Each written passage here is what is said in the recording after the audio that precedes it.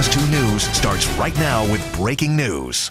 And breaking right now, big delays on the South Shore trains right during the evening commute. An overhead power line outage has stopped trains on the tracks and is keeping many rush hour commuters at Millennium Station. We've seen passengers just waiting it out on the train's platforms. There's no estimate on when service will resume.